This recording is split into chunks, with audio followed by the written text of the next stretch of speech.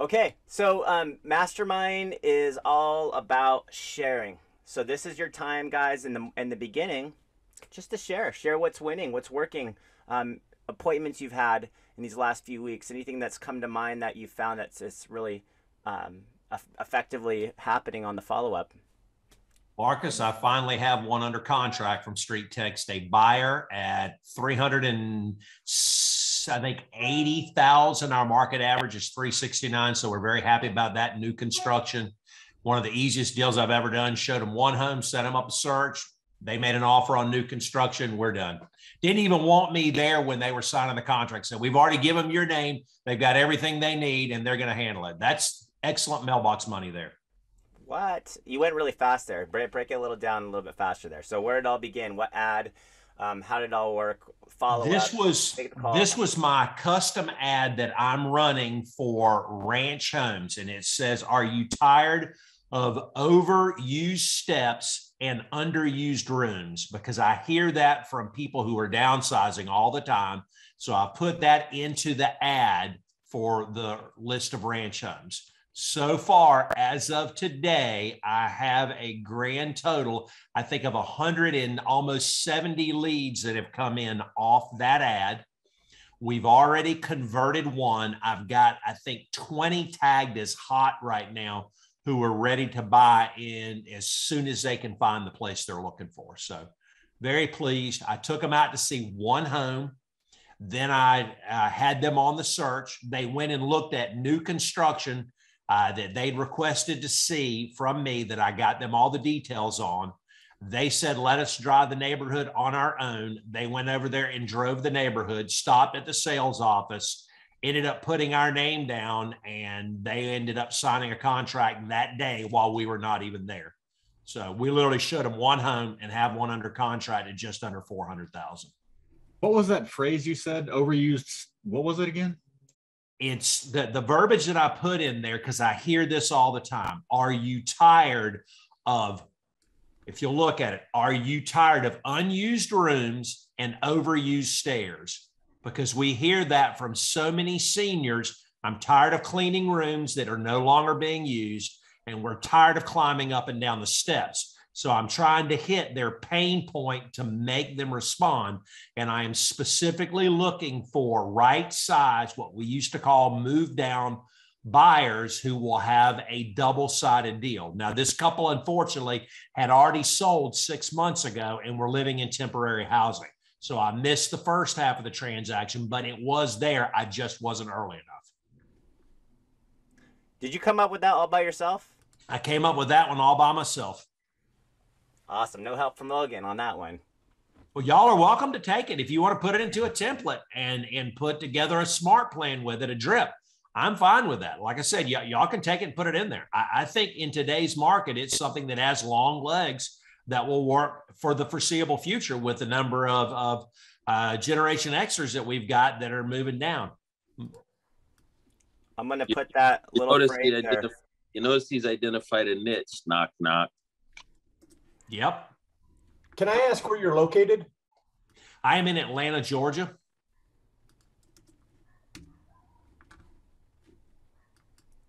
There you go. I just put it there in the that chat feature there for you guys.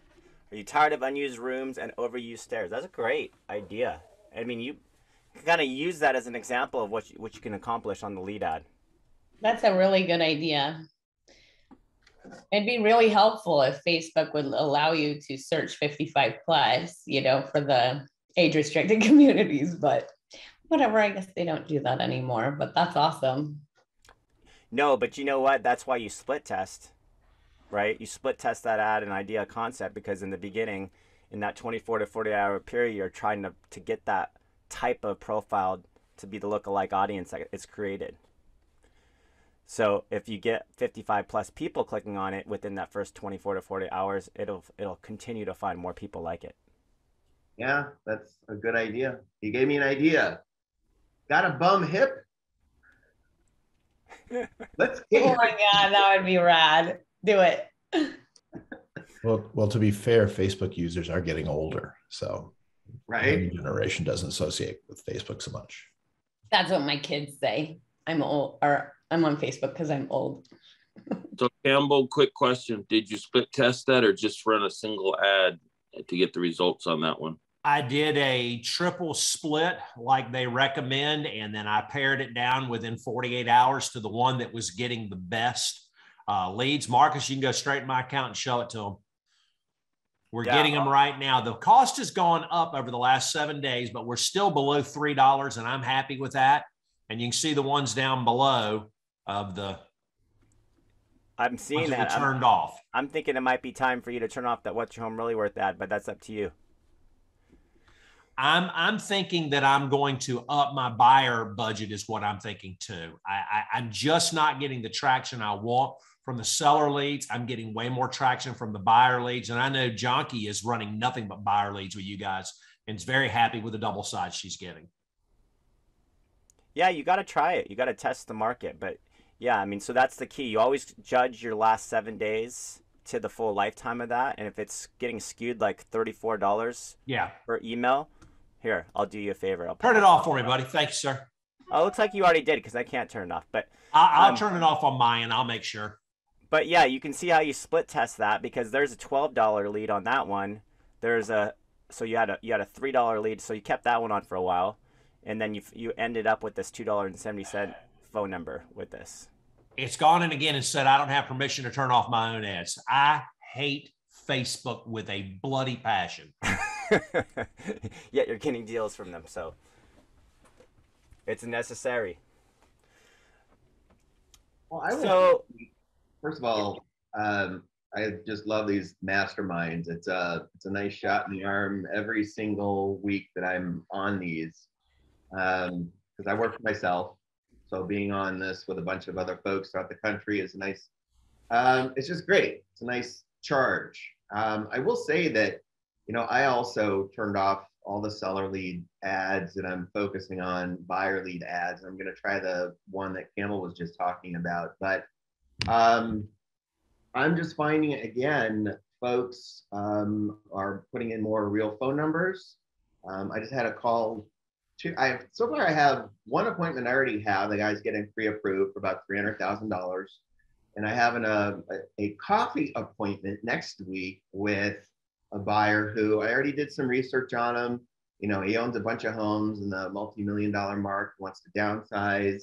Uh, I was looking to spend two and a half million. Has another million and a half dollar home to sell. And I just, it was speed the lead. I called him right away after the lead came in.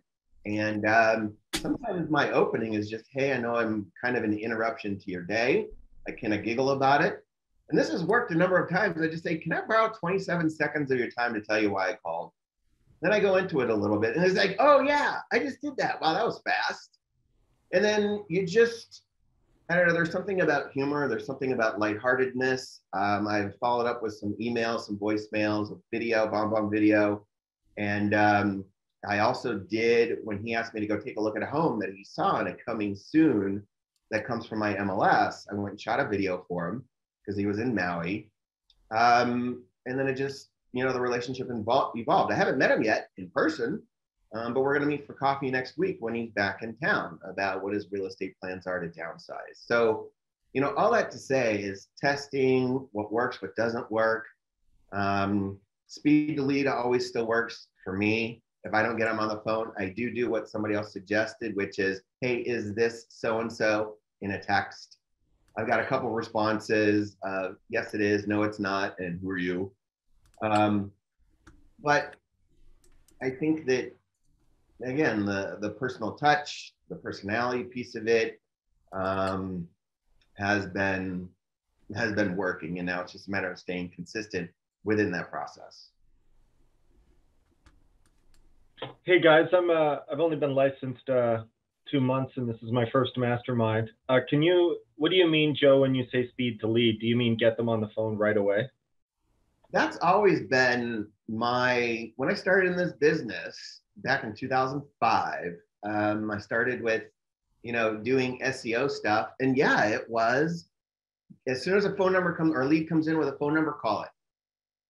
Call it because you have uh, you know a couple choices. Either A, they're going to go to somebody else, or B, you'll get they'll get you on the phone, or you'll get them on the phone and be like, "Wow, that was fast. That was pretty cool." So the mindset is already there that you're responsive. as, far as I'm concerned.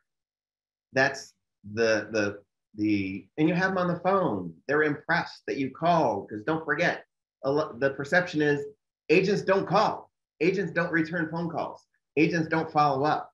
So as long as you start that from the get go, at least my experience is it sets the tone um, in a positive light. So yeah, speed to lead. That's what I mean. Typically, with from what I read, within five minutes of getting a lead.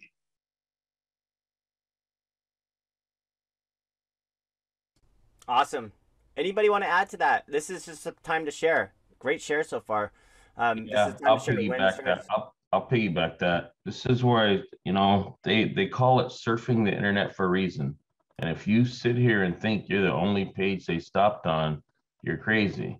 So when, when Joe says he hits them right away, if you're hitting them right away, chances are they, they, you were first, middle or last, they're still doing something. So like Marcus always talks about the interruptions for, for Facebook interruptions. Well, it, this is the better interruption because now you're going straight to the source. And, you know, you can't be, I won't say you can't. Whether you send them a text or call, don't email because they probably ain't gonna open it, but you need to get a more direct line right out to them right away to initiate it. And, and it comes down to the end of the day, you can't always hide behind a text or you can't hide behind email. You can't hide behind the, the camera. People that say they're camera shy, I don't want to be seen. You're gonna meet these folks eventually. So what are you hiding? You know, we always say everybody's like relationship based business. Um, with, with Joe, when I'm driving, same thing. I will hit a text right away, kind of let them know what it is, ask is a good time to talk. If they're really busy blowing up, call them. But you know, you're you're in as a business, you have to be proactive and make this happen. I, I like what you said, uh, Leon, about be seen. So be seen as in be you, be yourself. at the end of the day, um, it's a relationship. And I have to remember that. I had anxiety about, you know, picking up the phone because I would usually catastrophize it. They're going to pick up the phone. They're going to tell me to F off, stop bugging me. I already got a couple of those. But at the end of the day, what's the worst that can happen? Nothing other than they say, don't call me. You want a positive about a negative? I'm gonna give you one. If they tell you F off this, that, whatever, guess what? You have no more time wasted on them. Your time is worth something. So if they're really that bad, you kick them to the curb and you press on. Go find someone that needs you. I would rather have one, two, three leads that talk to me than 10 I'm wasting my time on that don't. Because when you look at how much time you have wrapped up in them, you could have been more productive in other ways. And so, um, you know, I'll, I'll put this way: eh, don't beg anybody to take your money. Your time is money. If they don't want you, move on. Can I Leon, maybe I'm jump in here and get a get a feedback on that? Because I'm of that mindset also. When I get a, a very negative response, I, I'm a deleter. I, I'm- I don't waste a bunch with a with a drip line and a whole bunch of extra conversation. I delete your a- I delete your butt very quickly and I move on. I, I'd like to have some feedback on if anybody else is hanging on to what I feel are waste of time dead leads. Well, I I do do that because I you know I I I um I play the tape forward, we'll call it, which is if this is what you're going to be like when you initially interact with a person who's a stranger, what are you going to be like throughout the rest of the process if we choose to work together? And the question is, why am I taking that business? And it's typically in my experience, I will take that kind of business because I have nothing else going on. And I'm taking that business out of fear as opposed to, you know, there's lack in abundance. Getting rid of people that are going to waste your time and energy um, is living in lack. There are plenty of people out there that want to connect, that are nice, that want to work with somebody who is, you know, polite, reaches out, communicates, is proactive. Those are the ones that I want to work with. And I have to remind myself that too, because I'm sitting there sometimes going, I have nothing going on, therefore I got to take this. Well, no, because they will drain your freaking energy. Guys, there's I'll something to be there's something to be said about mental energy and i think that's something that's again often overlooked is you know surrounding yourself with you know positivity and, and positive energy really does help your your mental state long term and you know a five minute conversation where you're getting screamed and yelled at by somebody it's more than five minutes. That five minutes does multiply because you know 20 minutes later you're sitting there going like, what a jerk that guy was, right? Like, so it's the same thing. And, and taking it back to Thomas's first question of what is speed to lead, speed to lead is basically the first piece of communication being sent to an individual as soon as humanly possible which you know it, it's it's obvious that needs to happen but at the same time, what often over is overlooked, and I try to make sure we explain this to everybody, is quality of content. Make sure that your first touch on these individuals is appropriate, it's personable, and it doesn't just rub them the wrong way, because then your next conversation with them is, oh, I'm just talking to another one of these people, one of these, you know, used car salespeople, because your first pieces of communication didn't set you apart. If you have a good personal response, you know, semi-personal response, we'll call it because it's an automation, fair. But if you've put your best foot forward and you've shown them, hey, I'm a real person with, you know, feelings and emotions, but more importantly, I'm here to help you. I'm a real person. And if you've conveyed that message to them appropriately, and then your first conversation with them is one of, you know, hatred or whatever it might be, then absolutely peace out see you later. We, we just don't need that in our day. But again you do need to take it back to the beginning and see what have i supplied them so far? Do they know that i'm different than all these other agents that they're really screaming and yelling at? Because in that moment they're not screaming and yelling at you. They don't know you. They don't know who you are. They're screaming at the last interaction they had. They're screaming at the 20 emails they've been sent from all these other agents who are just trying to get their business so again it comes back to speed to lead and quality of content, make sure that your first touches with these individuals is appropriate. It's what you wanted to lead with in terms of a best foot forward. And so long as you've done that, hey, great. Now it's on them. And if they treat you with, you know, that kind of vitriol, as as we like to say, then see you later. Delete them and move on. Absolutely. Guys, I'll I'll add something to this conversation. One of the things that we always have to remember is how did a lead come into our system? What was the original reason for them reaching out? And when you're looking at people on Facebook, you have to consider what part of the funnel that they're in. The people who are ready to buy now want to have more interaction with you. The ones who are further out, it's kind of like when you and I go to the store when we're looking for a TV. We walk through the front door, the first salesperson hits you and goes, What can I help you with? You go, No, I'm just looking. You're actually there looking for something, but you're not ready to interact with them. Now, I'm going to echo on what Leon said. If they're an ass, I will not continue talking to them. But what I will do, if they're a buyer lead, I will continue sending them homes to look at. And when they're ready and I see them active on the website, I will talk to them. I've had leads that have been on my website for five years who I've sold a home to because they weren't ready five years ago. But when I saw they got active, I reached back out to them, and the response I got then was totally different. So I, I, think we always have to remember that they're in control. We do what we can. We reach out as fast as we can. And the ones who want help will identify themselves. The others, I'm never going to cut and run.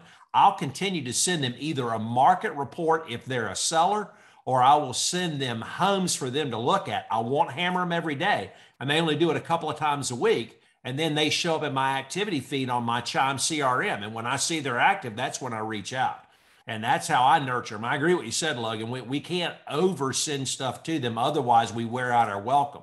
But if we reach out every once in a while and they keep seeing us, there are a lot of them that will convert three to five years. And I know it's happened for us. I can't even count the number of leads we've converted five years later.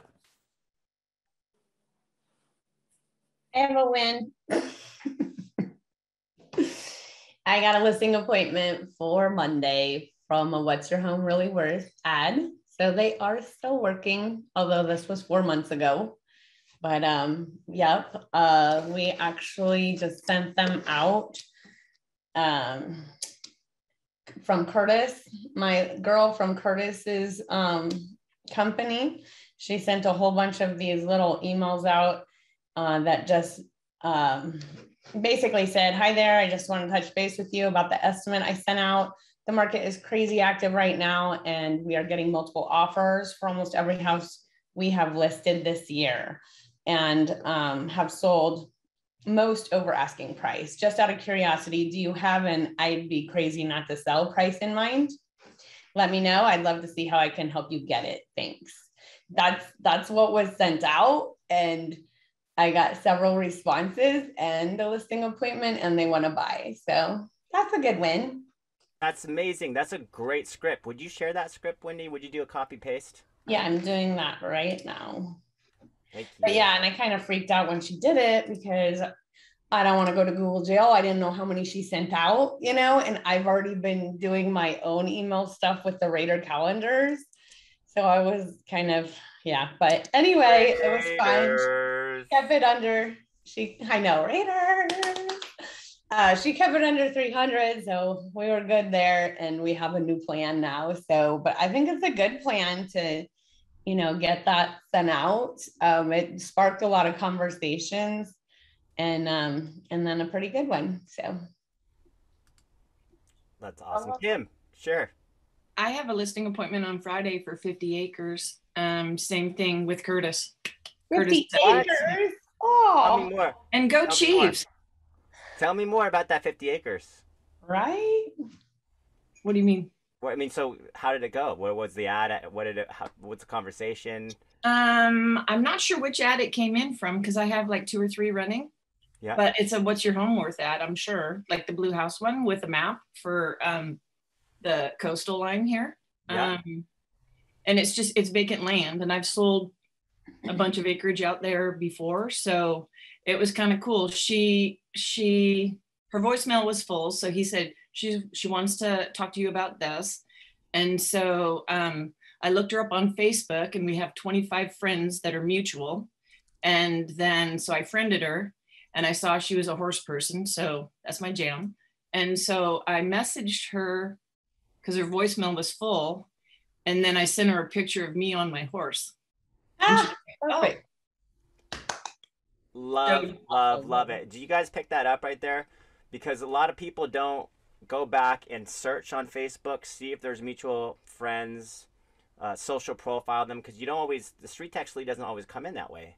It's it's all to do with the public information that's shared via the email they're using when they submit their information. So if you don't find it, you got to do your your quick advanced search on Facebook, and then if you can find them and create that connection, that's it. That's the end game. If you can make that connection there on Facebook, that's my preferred method. Everybody knows we call it Facebook stalking, but it's it's not if it's a genuine connection. Mhm. I was channeling my inner Wendy. Yeah. and, That's and, tough and again, and when when we're all talking about that speed to lead component, well, if you know that first speed to lead portion of this is going to be them going back to their email, especially if it's the home value lead, um, because sometimes it's all you got is an address and email. That is your first impression. And you know, Wendy was was the beginning person who ever did the you know, hey, check out my personal Facebook. Here's my personal link, so they get to see her as a real person and connect that way rather than, you know, book into my calendar and I'll review your home value. You know what I mean? It's like don't be that person. Be the person that begins with that no like trust model. Get to know me first, see what you you know like me, and then we can develop a trust relationship. Another cool idea I do every year for Halloween is put my business card, double sticky tape on M&Ms because parents look at their kids' candy, right? Well, they should. I'm really hoping they should. So I just got 250 little M&Ms with my business card on them now. I'm ready for Halloween. And I'm ready to scare everybody. It's gonna be- Brilliant. Marcus, I'll has share a a win. If you guys can hear, can you guys hear me? Yeah. Um, so I actually did a live session about this on Monday, but I launched a new um, campaign test on Saturday. Not an ideal to, day to launch a new campaign, but whatever. Uh, better, better now than never. Um, and already uh, had a lead, had several leads come in. One came in on Sunday. Scheduled a time on my calendar for Sat- uh, Monday morning, and they are uh, they have a house that's uh, between four and five hundred thousand to sell, which is about double my average home price, and uh, want to buy one in the six hundred to one million dollar range. And um, yeah, that was that was all. Uh, all I did was set it up, put some some uh, smart automation kind of stuff in place, and um, called him at 9:15 in the morning because that's the time he asked me to call him. Perfect. What was the ad, Josh? So it was um I, I launched two different tests, same same concept, but two different approaches. Um, but it was around luxury.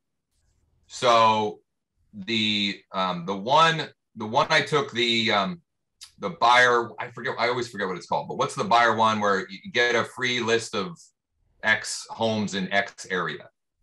Um Yeah, the buyer lead. Buyer lead ad. Okay, so so it was uh, get a free list of all uh, luxury homes available right now in Cumberland County.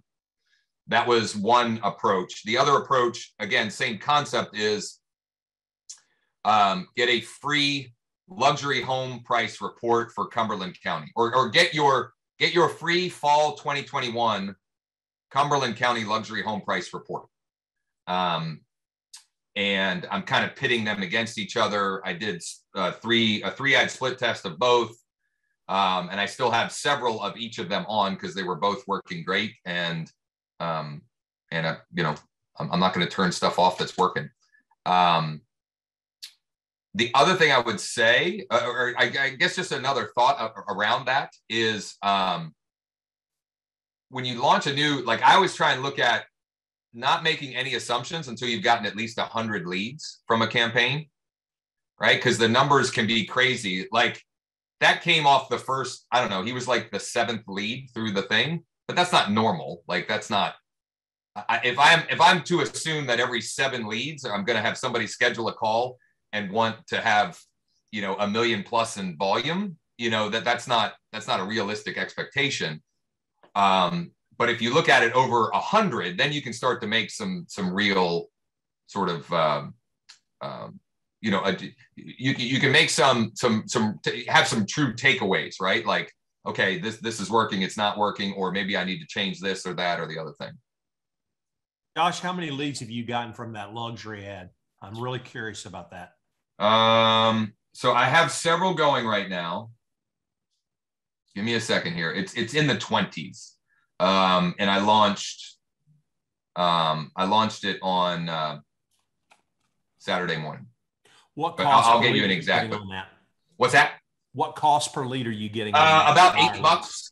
About eight bucks a lead. I'm in a rural area, um, which tells me that in in higher priced markets or more competitive markets, obviously your cost per lead would be would likely be higher than mine. Um, but I'm at I'm at about eight bucks a lead. Marcus, can you show us that ad from him?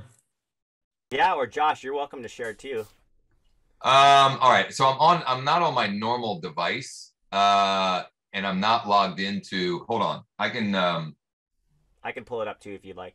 yeah, that might be easier. Um, just because I'm not on my normal device and I don't have, I'm not logged into Facebook on this device and it would, I don't know, it'll, it'll take a while. I can switch devices too, if that's Oh, easy. no worries, no worries. In the meantime, keep chatting up. I'll just go search for it. Yeah. So the other thing I, that I, I thought of during the conversation that was happening when I first got on, I was a little late, is um, I'll throw out there, uh, whether we do it on a mastermind or whatever, um, some retargeting strategies. Um, I'd be happy to dig into that. So with this campaign, everybody who clicks on the any of the lead ads in the campaign, they immediately get it put into an audience and we'll see a video on Instagram or Facebook. So I'm like I'm taking it even to another channel of doing everything possible to for them to get to see my face and make a connection with me um, as quickly as possible. Now I have to do that directly in the Facebook uh, manager. You know, that's not something that's that's native to the StreetText platform currently, but it's it's worth figuring out. Um, you know, for the the ability to connect on, on an even deeper level, or, Josh, or with more of the find lead. out more about that. I would love to see if you could do a, a, a seminar on that at some point in time. That would be very intriguing, especially with those luxury leads, because that's a market that's worth following up on and spending more money, no doubt about it. for sure. Yeah. Little hiccup. We can't access the ad right now for this quick second, but as soon as we will. It's probably because I edited it. I I'm hacking the system a little bit here. I- I'll I'll uh, I'll hop on. We can continue the batter. Yeah, no worries. I'll hop on on my other device and I'll bring it up then because I don't I don't want to leave people hanging. Could Well, somebody give me an idea of what sort of like what's their success rate for converting leads? Like I'm so new, I've literally received only 44 contacts since I started. So um Oh, that's a tough one to answer. yeah, like on average you you get 100 leads or 200 leads or 1000 leads, like what number might turn into a real client? Well, that's subjective to follow up, right? And the and the way you follow up and how how you create a, a an experience that's feels very much authentic and as you as a consultant rather than a salesperson. So Yeah. it almost begins with taking a step back at times and I did a I did a conversion workshop on this yesterday. You almost want to think about reverse engineering the process. You always want to take a time and spend and think about the automations that are going to go out. Think about the systems you're going to use. Think about the integrations, you know, like HomeBot and, and so forth. Um, and then, you know, look at the drip email campaign itself and say, okay, now I'm going to go in there and start making it my own. And that includes your SMS feature. Um, because if you don't, then a lot of the stuff gets lost in translation. And translation ultimately, for me, what I've seen leads to people, you know, not doing much with those emails, unsubscribing, you know, throwing some I was just curious type of stuff at you. Um, but the more you sit and, and customize that, I think someone's coming on. The more you sit back and customize that and think about that experience, it becomes awesome. I know Linnea is here and she can attest to that. Um, Kim and a lot of you guys that have spent some time on, on customizing those automations, that's a good place to start, especially in the first few weeks. You do not give them the mistake um, or the the ability to interpret even the the uh, the IE updates text that kind of sends out as Julie. That in itself is a opportunity to make it more your personality.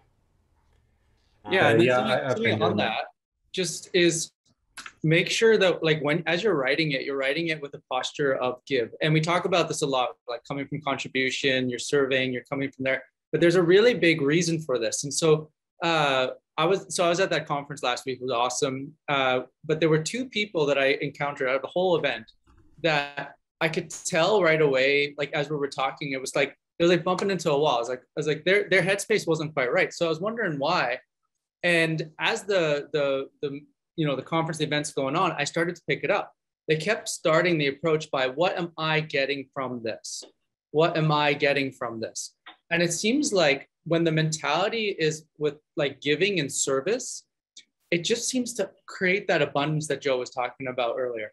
You you you, you just you kind of it, it opens everything up. It opens up to conversation. And so when you're crafting the message um flip the script from okay i want to book an appointment to what does the person who submitted this inquiry what are they looking for? Why did what was their intent behind it?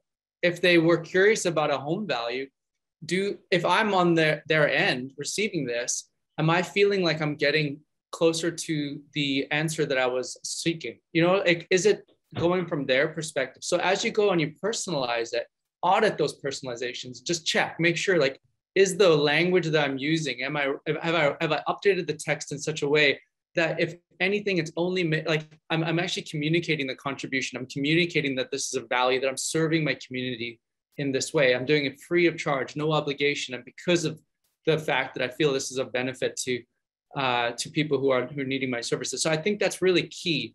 And you'll probably find that you'll um, if you just change a few things in in, in the, the messaging coming from the contribution that you'll see a 10x on the response rate because people right away are going to say oh this person this is the kind of person i want to talk with. And when they find you on facebook or you friend connect them it's going to be congruent. It's going to say oh this is you know this is this is eric east. I see he's he's helping uh you know i saw you did a whole post i'm like you you obviously um are, are a translator so you're going to be helping people who are coming from afghanistan and communicate with them. I read that i saw that post i was like that's awesome. It's congruent it's like you're coming from that place of service. Wendy you know you're digging potholes like literally filling potholes in this back roads. And i was like that's awesome. It's congruent. This is the kind of person that i would love to uh, work with. And i think that's that's really it's good. I see linnea's got her hand up so it's all yours. Fantastic, thanks. Go ahead, Linnea. I was just gonna uh, tack onto that with it. Like i think the most important thing with the automations is making sure it's in your voice. Um, because i'll tell you like even if like people respond people respond to me all the time. Now i like probably two three times a week i'm getting a response where someone has a question about their market. Um, someone the other day was like i'm really sorry we just decided not to sell our house but we you know we still want to talk to you. And so like i've never talked to them but they the like they know me like they they just know me and so i think that like making sure that those automate take i would strongly recommend spending some time in the funnels and making sure those those emails and those text messages are in your voice because you, the return might not happen that quickly but you know i anyone who knows me knows that i'm all about long-term nurturing i'm not about the immediate and so that's what the automations will do for you is really get that long-term nurturing in there Perfect. Well said. And by the way, there is a new automations workshop Ira hosts, and we parlay that with the conversion workshop every week. So between the automations and the conversion workshop, those are two additional times, even outside this mastermind, you can come and join, and we can work on those together. Okay, Josh said he has his ads pulled up while we're here if we want to look at them. And I, I just us one one uh, one little tip on, on to piggyback on what Linnea said is read your um, automations, your scripts, whatever. Read them out loud. Read them out loud, and if it doesn't sound like you, like then then make them sound like you. You know what I mean? Like if it, if they don't if they don't come out naturally, like if you have to think about what you're reading, then it's not your voice, right? It's not. y- y- You've got to make it like the way I talk is drastically different than you know many of you on here. Like, and so when it, it, it's it's it's as little as simple things like having I will instead of I'll. Like I don't ever say I will text you tomorrow. No, I'll I'll give you a call tomorrow. Like or I'll, I'll shoot you a text tomorrow, right? So craft them the way you speak or or edit them to the way to, to match the way you speak. A, a simple thing, but it makes a big difference. And I'm happy to share my screen, but Omar's had a, had his hand up. Just gotta mute there.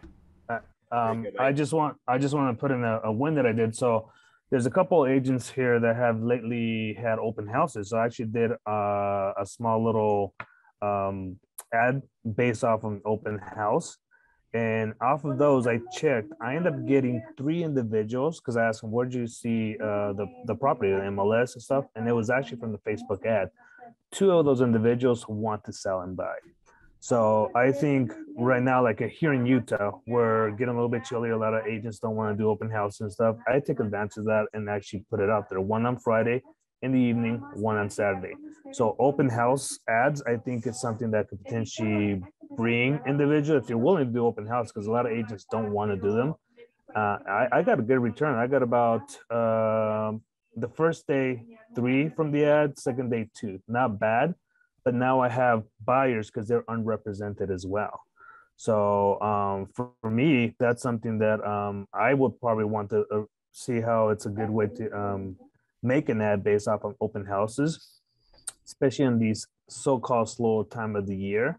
You know, you could potentially pick up um, people who maybe have an expired um, buyer broker agreement with an agent now because they weren't able to find anything in the beginning of the year. Um, so just uh just a point open house ads probably will work out to bring in some business if you're willing to do those open houses close so Can I add something on the community thing? Yes. Okay, so um, a lot of you know that I do a lot of community stuff around here. I have an adopt a road event that I do four times a year, and I have three roads adopted. And so I have a picture of me with my my son and my stepkids like throwing up leaves in front of one of those signs that say the Renshaw family adopt a road.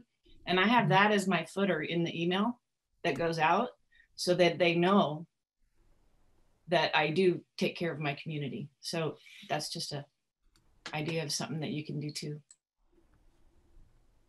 Great advice. It's awesome.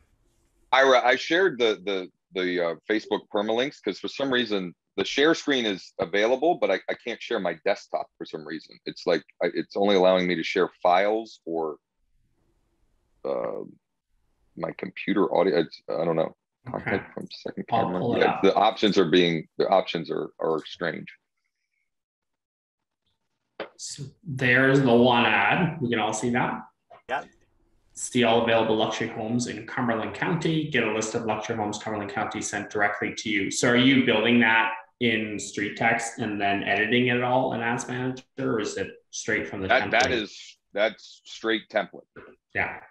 That's straight template. Um, yeah, there's nothing custom about that in any way, shape, or form. The image I just uh was just made in Canva. I'll pull up the other one. And this one was the custom lead ad. So this one, but I, but again, I just, you know, I made it all in StreetText, but it was just the template that I was working from was the, I think just called custom lead ad. And we have custom lead ad class that started again with Logan. We've been doing those workshops. So if you want to just kind of bounce off ideas when it comes to custom leads and just get a better understanding of how to use that template, Logan is doing a workshop today. I'm just reloading this. It's, Facebook's taking its time. Yeah, anytime you screen share with Facebook, it's on Zoom, it, yeah, it bogs it down. Hey, Josh. help. Oh, there it goes. Hey, Josh, while this is pulling up, question for you on that retargeting ad that you're running. Um, does your audience have to be a certain size in order for Facebook to actually uh, distribute that ad to them? Because I've got one where I've got a custom. Um, I'm retargeting the um, the form, the lead form, and Facebook approved it, but no money is being spent. So I'm trying to kind of figure out what's going on with that. Uh, well, technically, you only need one person for it to, you know, be an audience. But yeah, you you have to have some people in there. Uh, what that number is, I don't know for sure. But the other thing is the objective that you choose for the retargeting. Um, that that will also impact, you know, whether or not the ad showing. So so. Um, we're going down a rabbit hole here, which is I think a separate sec, uh, you know, session might make sense for this. But I'm I'm doing an ad that's reach, a, an ad that's brand awareness, and an ad that's video. And I figured between those three, um, you know, that it's going to put it back in front of uh, the right people, um, or in in front of those audiences. So, do you have any idea, like, how many clicks do you have on the lead form? Uh, I've got well over 30 some odd clicks so far. Yeah, that's I mean that's still very small. What's the what's the objective that you've chosen for the ad? For the retargeting, Yeah. um, I think it's video view. I'd have to go back because I launched it about a week ago. Yeah. So try leave that one go and try to use the same concept that that you can even use the same post, but do it as a reach ad. And then maybe even also as a brand awareness ad. Um, because you're giving Facebook more options to put it back in front of the audience. Because they, you know, between all of their algorithms and the way they figure things out, th- those 30 people, they may not want to show it because they don't believe that any of those 30 people based upon their algorithm will will watch a through play of the video but the reach one you're just paying facebook to say the reach one is more like a billboard and reach and brand awareness are more like a billboard i want to give you a dollar a day and and you just put that in front of whoever whoever's you know on the highway and in this case this is a terrible analogy but whoever's on the highway is that 30 people right like um so i, I think you got to play with the different um objectives there it could just be it could just be that Gotcha. I'll try. Thanks, man. Appreciate it. yeah Manuel. I mean, my mom usually calls me that. um, yo, I hope everyone's having a great day, man. Seriously, I love this group. I'm uh, recruiting a couple people just because uh, the benefits of this program and like this. But here's a couple of my wins. I haven't retargeted or done any new advertisement, but from the leads that I've gotten, it's like 15. I've gotten two listing appointments. Um, just super excited. I mean, like, I think I've only spent 150 bucks. So out of that, but I think the if we're talking about all this, I spoke with this girl, Liliana, that's part of the StreetText, and she mentioned videos, videos, videos. So anytime I get like a lead, I'm gonna send out a video introducing myself, just letting them know, hey, in whatever you know i'm like i'm super high so like i'm adhd you know what i mean so i'm gonna like just bring that shit right to your face you know? But whatever that is is like you're gonna connect with the people that you know what i mean? Like what we're you're trying to figure out i think in my opinion is i don't want to work with everybody but i do want to work with like the super high fast movements because they're to be able to keep up with me. And that's the thing it's like if i have to like lower that then it becomes a boring transaction for me. And but that also gives us the opportunity to work with each other and send referrals but that's kind of like a couple of the things that i've had and a couple of wins i wanted to share in this mastermind but thank you very much for you guys support and uh excited for november I heard a, a podcast that I love it. I, I totally agree. I heard a podcast this week and it really kind of hit me. One of the lines in it, the person said on social media, people want to interact and follow with someone who's polarizing. And, and we all try to not be polarizing. We're like, I'm just going to be neutral, middle of the road. But I want you to think about it right now for yourself. Like, who are your favorite people on social media? And are they opinionated? Because they probably have an opinion, and that opinion is probably slanted towards the way that you think or you act. So we're so always trying to be like middle of the road. I'm not going to make sure I like I, I don't offend anybody on either side. But actually, if you were just you and you just put you out there, then you're going to meet more people that are like you. And we're so afraid to be neutral. When I think about the people that stand out for me on social media or the people that stand out in my circles, it's people that, you know, stand for something. They have a, there's something about them. There's a character about them. So if you want to stand out instead of blend in, sometimes we have to air more. That's why we like Marcus pushes for like get people on your personal page because you're going to meet your people. And the people that aren't your people, you're just not going to do business with them, but you never were going to do business with them anyways. So I think sometimes there's this like blend in mentality. We're trying so hard not to offend so many people, but at the same time, you're completely missing the opportunity to like meet your people that like friggin' love you, that are like this person. Like I have people I follow on social media. Me and my wife talk about them like we know them. Like I'll be like, did you see what's her name that she did this today? And she, like we, they don't know this, but we talk about them like we know them. So, you know, just be you. And I love that. You're just you every time you come on these masterminds, which is awesome. So do you guys another way to or to say on piggyback on Ira and then I'll uh, jump up there for Thomas uh, is think of it like like leadership, vision, communication. Sometimes people are afraid to actually say the direction that they believe things need to go. And if they aren't willing to say the direction they need to go, that's not leadership. And so so leadership on social media leadership in your community is simply sharing the things that you value. What are your values? How do you like to live? Do you like to live fast? Do you like to live you know like exactly what um, manuel was saying but you, you love you love to go for it right and those are your people then share that because that's part of leadership is actually communicating the world that you want to see and yeah, you might ruffle a few feathers, but it's better because the people that see it, that get it, now they have a cause that they can rally behind. They have somebody they can say, yeah, I really like the way you live. I want to be a little bit, I, I want to support that. I had a friend actually just yesterday say to me, he has this crazy idea. He's like, I want to give a book to every single child in our city. And I said, okay. That's awesome. And he, and he said, and then he shared it right away. He's like, because I know I've got people around me who are going to support that. And it's like, wow, that's cool. That's leadership.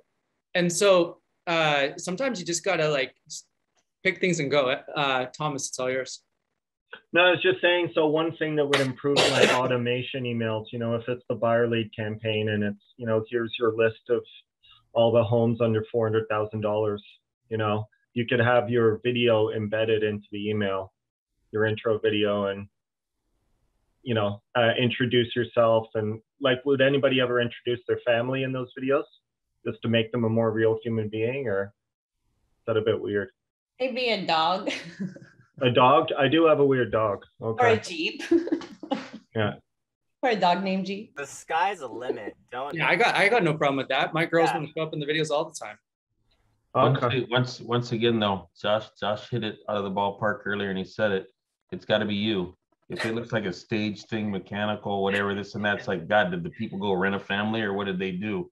So if you're out there um, you want to come across the way they're going to meet you and you're really going to be, not, not some staged production or something. So, you know, the easiest way is if you're out at an event or something's going on, um, the soccer game, something, and you just have something where they see a moment of you being you and your family's there. So sometimes you say a subliminal message.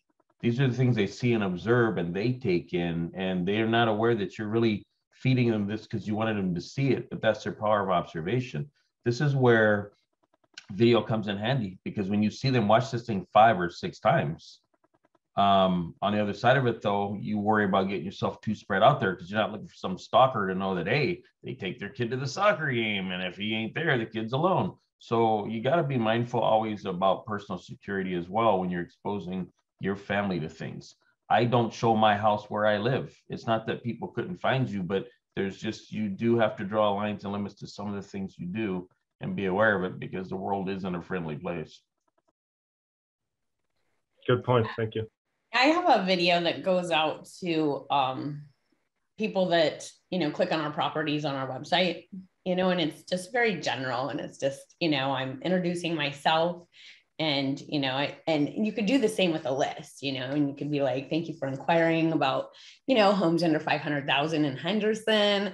Um, i hope you enjoy you know enjoy them. Please let me know. And you just say you know you may not be ready yet. Make make it like you're not trying to get that first appointment that you're just introducing yourself and but when you're ready i'll be here for you and answer any questions you know something simple and quick. Do not make a long video. If it's BombBomb and it says watch this five minute video they're not going to watch a five minute video. So i always try to keep it under 60 seconds so. Well said wendy and especially on the first one you can make those longer as you build that trust you know and that drip email goes longer that's the, the time you can have those longer videos. But in the beginning even on that you know list of homes with pools in vegas right? The idea is they're automatically getting that list and what you're going to say if you say anything and it could be a few days later is hey now that you've had time to look at this list what it what are the neighborhoods you're looking for? What are the amenities you're looking for? What's the perfect price point? Tell me you know what would be the ideal search for you and i'll come back with you with an updated list. So now you're making it all about them and what they're looking for.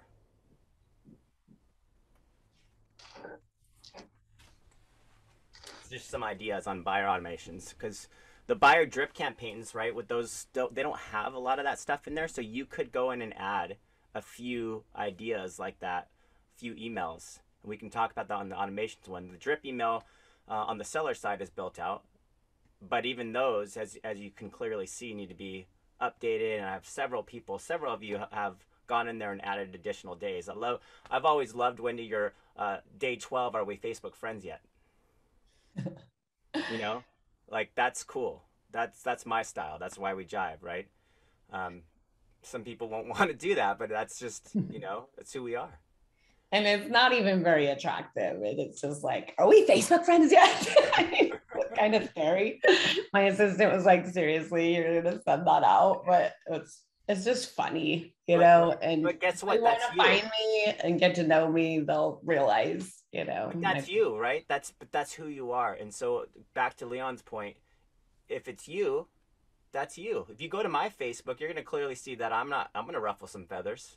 I mean, let's be honest. Like, you know, but that I'm building my tribe, and you're building yours. Right. So I, I like the idea of putting the video in with the list of properties, though, because I don't think I have a video on that one. That's that's good. The intro video. So yeah, I mean, and and that's where we can expand upon that and in the automations class with Ira or the conversion workshop. And, you know, if you guys have ideas, just throw it out there, post those videos in the group and we get immediate feedback from everybody here because that's, that's what we're, we're all about is collaboration. Um, sorry, let me raise my hand. you got it, Joe.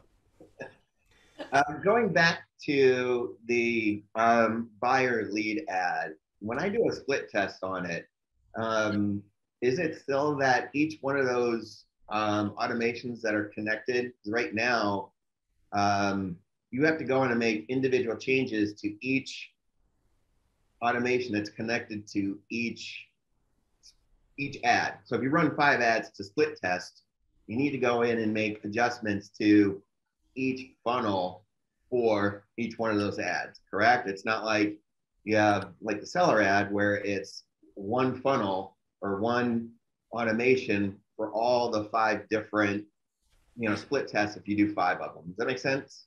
Yeah. Uh, who's got that answer? Troy?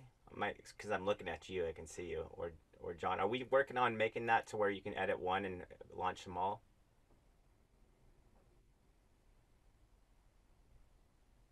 Sorry, I didn't catch the question. I was I working. was on gonna say, me and Troy are, are talking right now in Slack, problem solving on something, and I'm like, neither of us were actually listening. Or Logan? Logan too. Now The, the answer to the question is we are working on something that will make that a little bit easier moving forward. Um, we've got a couple really interesting features out. Exactly how it uh, fully plays out, we'll be able to show you guys on Ira's automations class or uh, in my custom ad class as well. We'll be touching on a lot of those same kind of features and um, absolutely, that's something that will be coming in time. The ability to essentially apply an automation structure to other ads rather than have to go through and rebuild the entirety of the automation. Uh, that's something that hopefully, again, we'll, we'll we'll have handled for you before much longer here. I think the, the strategy right now, Joe, for yourself is do the split test, find the winner, optimize that one. Yeah. Yeah, I gotcha. The uh, so And you have, Well, go ahead, Ira. So say you have Follow Up Boss. So one of the things like you could do is um, if you build it out in Follow Up Boss, you can add a tag at the end of the StreetText automations. And the tag could put them on, like Linnea Carver's done that at the end of her nine months, added a tag for Follow Up Boss so that when the nine-month campaign is done in StreetText, it pulls them over into a new drip and Follow Up Boss because it recognizes the tag. So if you build it out and then put a tag associated with it, then you can just add that tag to the end of any automations in StreetText and it'll put them on an action plan you have already built out once in follow-up boss for now. You have to, and no, I appreciate that. And I still, that's, that's on my list of, you know, things to do.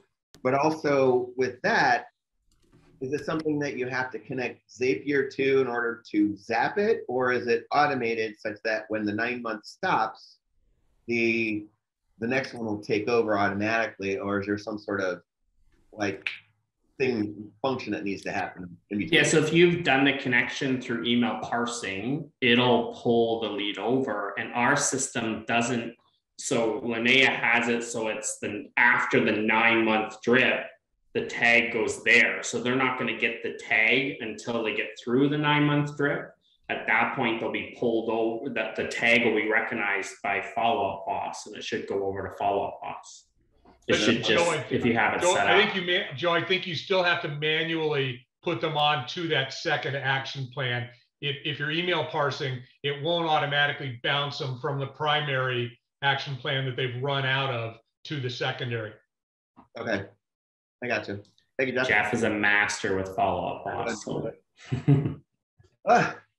So as we get to the end of this, I was gonna say kudos to the beginning of this for the person that said they tagged their stuff. That's that's like really powerful to get in there. But um, you know, I, I get people sending me stuff, asking me questions. Here's one I throw out. We always say the nugget for the day. Um, you know, we're talking about new leads coming in. What are you doing for your old? I started to send something last week before I went to Vegas, and I thought, nah, I don't want to answer phones or texts. I've got um, the winter tips going out uh, this week. I'm gonna send it out tomorrow, so it starts blasting on Friday.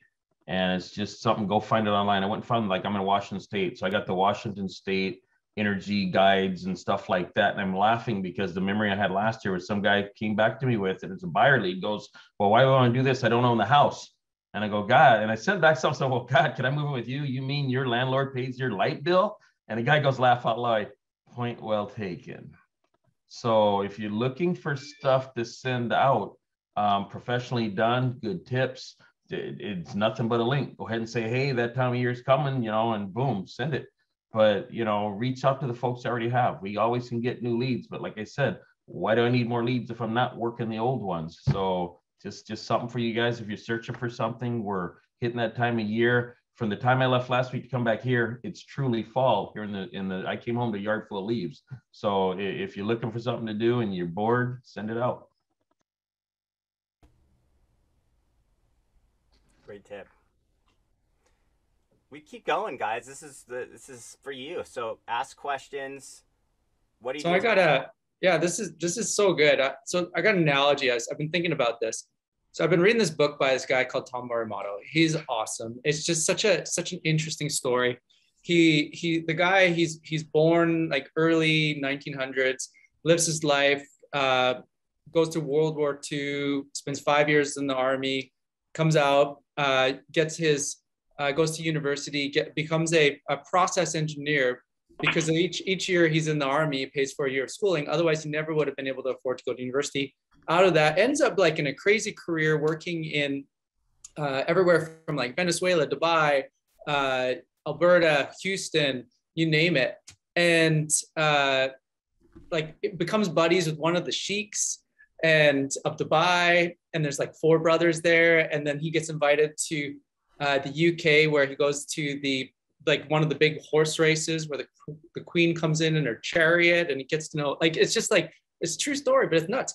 And as i'm as i'm reading like listening to the story i'm, I'm thinking about like how the the business of of um of essentially oil or mining or gas and all that stuff it's so similar in some ways to to real estate in this sense.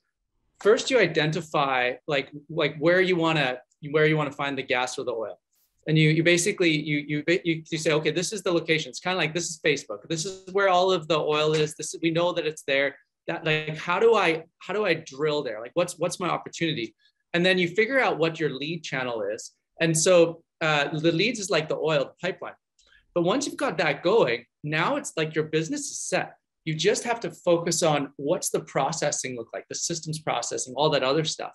And and so once you've set up your systems now you have a business that can really grow but the key is you got to have that pipeline. You got to have that pipeline where you know that you've tapped into the source. And the more i think about this the more i'm like this is really such a good analogy because once you've figured out you've got your pipeline and you've got your systems and, and it's just really simple simple matter of just making sure that those systems are operating and working well. You can start to get more and more efficient what's the language I'm using to introduce? How am I connecting? Have I got systems? Eventually, you get to the Jankies level where you got ISAs, you got people, you got your ops team working and managing all that stuff. But it doesn't have to be that hard at the beginning. At the very beginning, it's really simple. And the other key is if you think about it, everybody really is like your sphere, your friends on Facebook, they are already in your nurturing list, so to speak. Facebook is a way to nurture them, no different than any other um, than any other uh, uh, medium. And so the, what you're doing is you're essentially, you're bringing more and more people into the pipeline and you're increasing the number of people at any given month who are going to be ready to buy or sell. And uh, ultimately one is you want to have a pipeline where you have so many people that are ready to buy and sell. You've hit your dream business. Whatever your vision was for your business, that you've hit that, okay, I wanted to do, let's say it's um 60 60 listings a year. Maybe that was your goal. Maybe you wanted to double that 120 maybe you want to you got a you know a bigger dream and you want 50 agents under you. It doesn't really matter.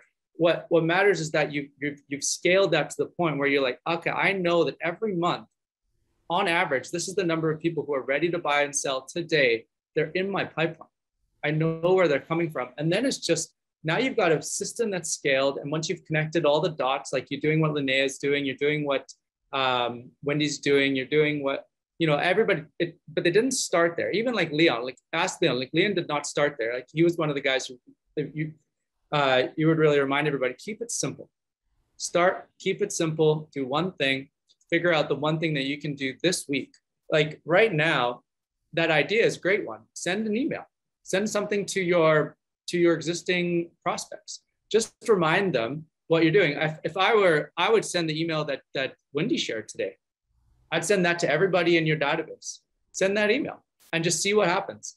Um, because you not, already not all have at one time. not all at one time, but you already have people who are in your list today who are ready to buy or sell this month, and they actually need you. They need you for them. Uh, so it's they're the right fit. They're the right person. They got good mindset. They're going to be pleasant and pleasure to work with. And so just go and identify who that person is simply by sending that email and connecting with them. And, uh, and you're off to the races.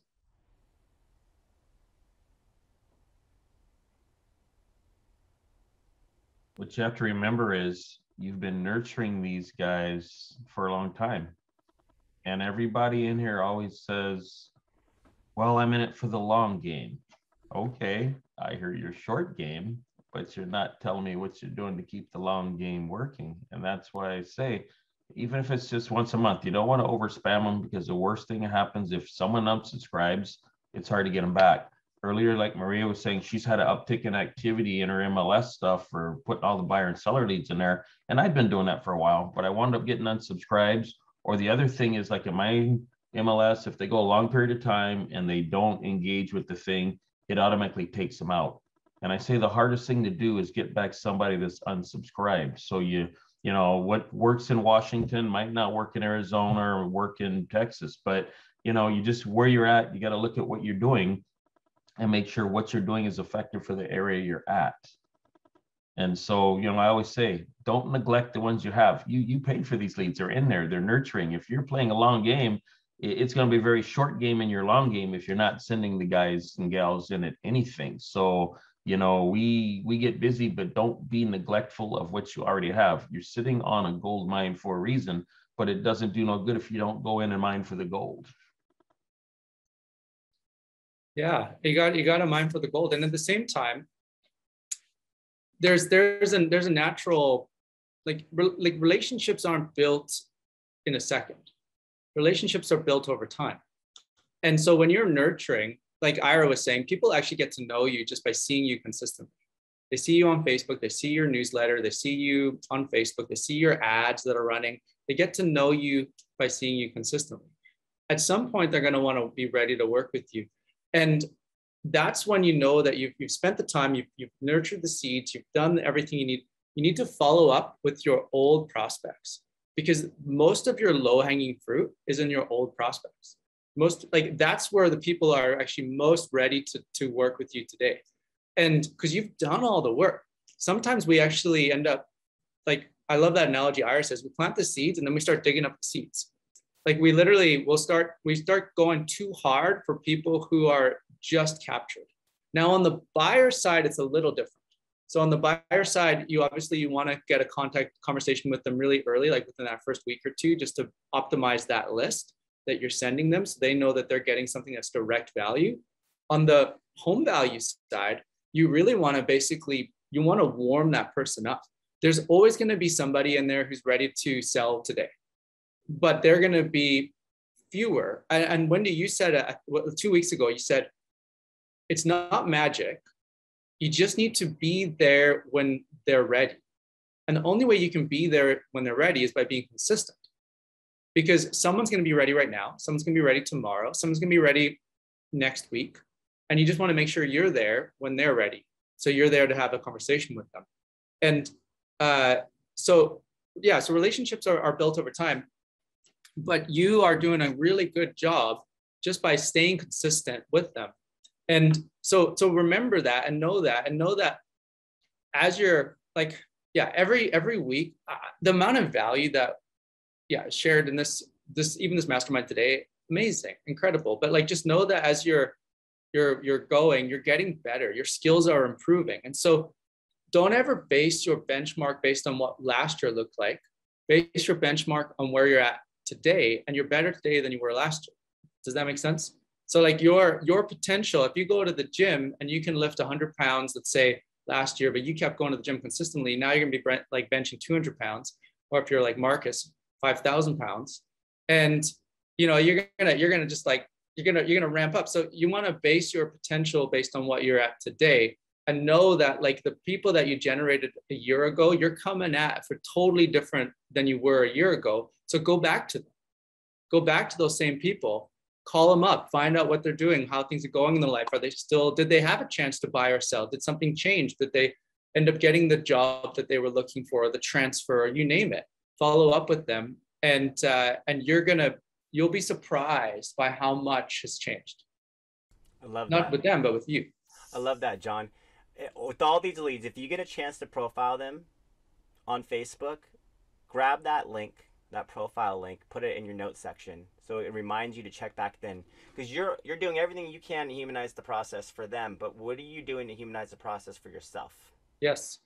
And how are you looking at this person as more than a lead and some details, and an address? If you're not seeing them as a human being with a family and interests and likes and all that stuff, how are they supposed to see you the same?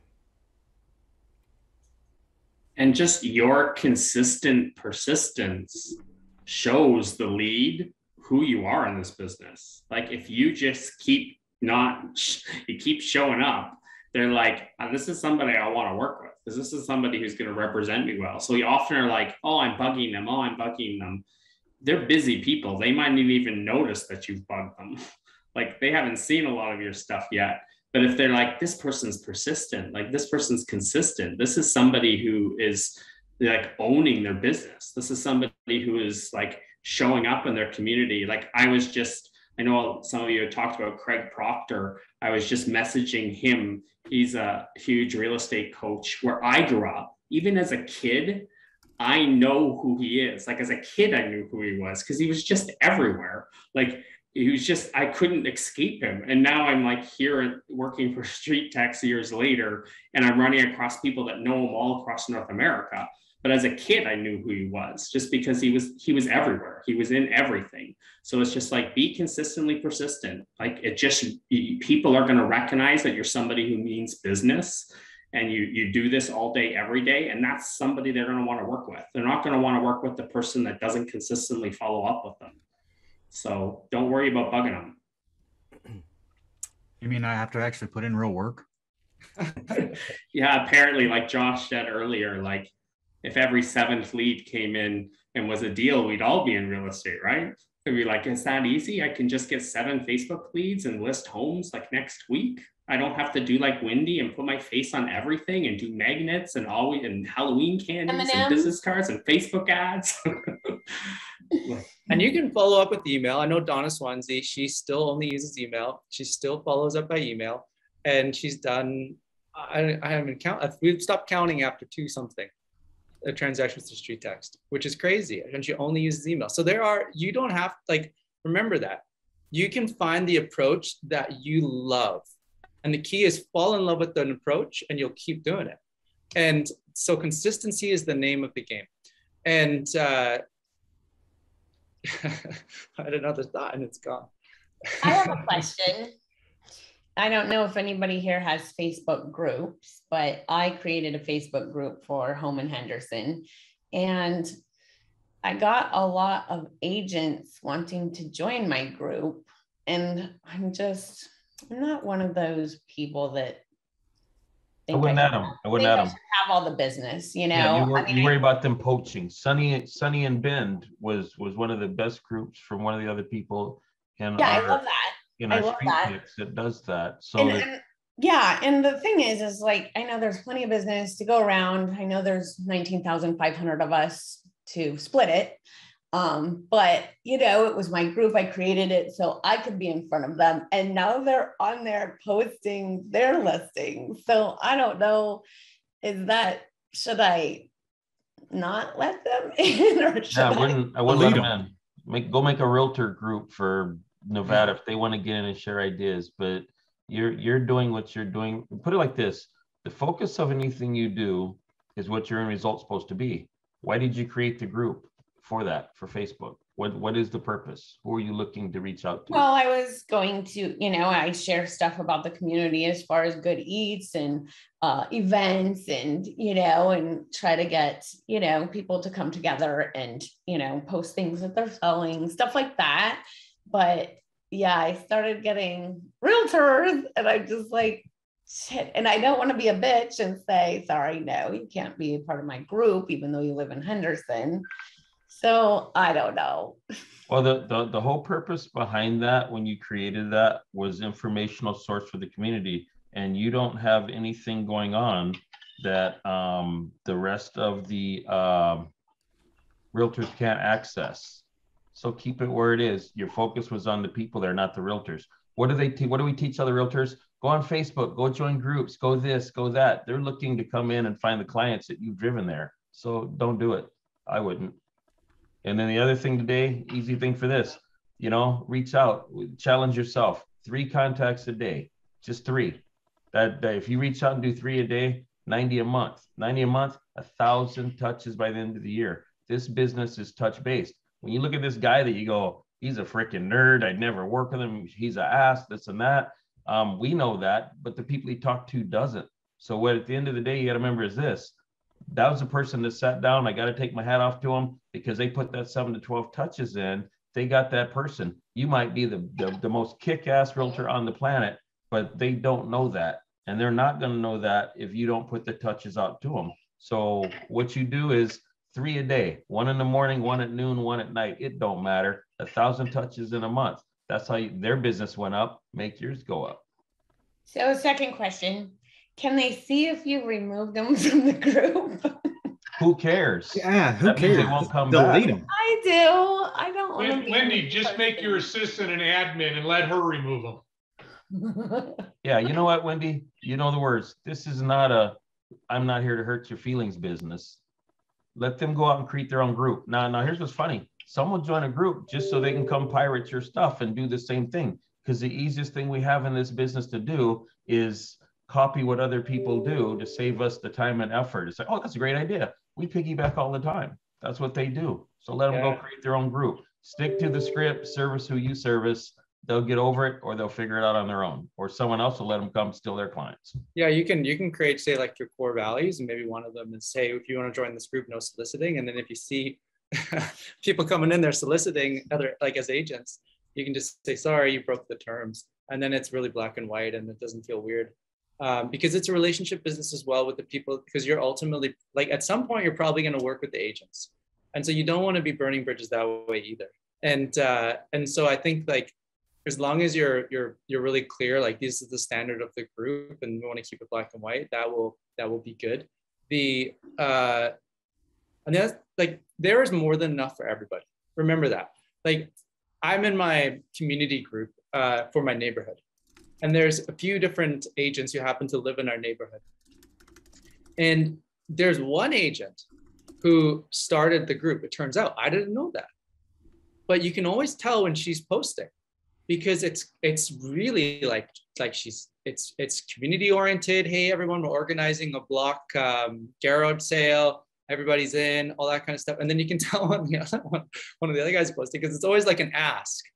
And it doesn't nobody ever responds to his posts. And so uh, I, I think like you can tell who's got the listings.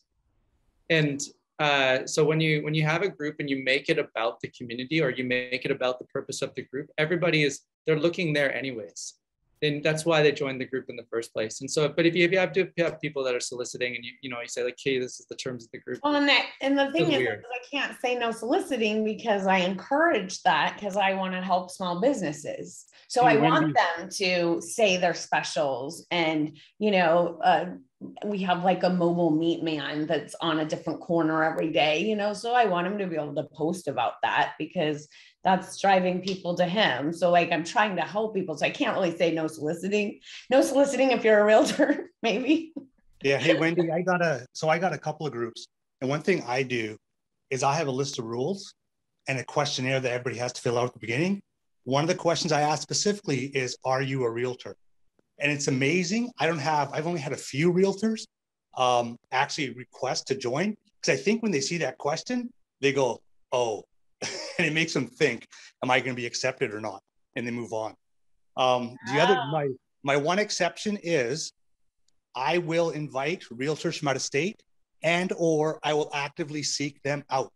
So I will find somebody whose business is similar to mine out of state or out of country, and I will actively seek them out and get them to join my group to see if I can get referral business from outside of the state. And I have no problem with that. And I think that's a big win. Okay, that's a good idea.